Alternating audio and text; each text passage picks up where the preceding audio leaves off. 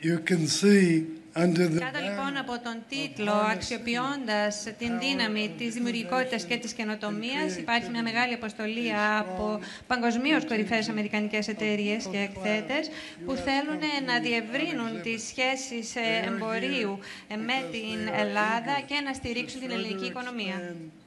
We have a tremendous opportunity here Είναι λοιπόν αυτή μια εξαιρετική ευκαιρία να διευρύνουμε περαιτέρω τις εμπορικές σχέσεις των δύο ε, χωρών προς όφελος της Ελλάδος. primary interest to Greece.